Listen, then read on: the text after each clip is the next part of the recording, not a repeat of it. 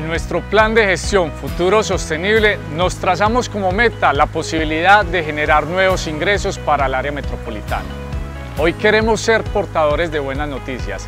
El Instituto Geográfico Agustín Codazzi nos ha notificado la posibilidad de habilitarnos como gestores catastrales.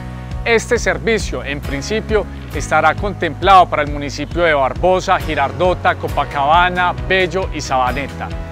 De esta forma, seguimos trabajando para fortalecer la institucionalidad, nuevos ingresos que estarán en función de ser reinvertidos para todo nuestro Valle de Aburrá.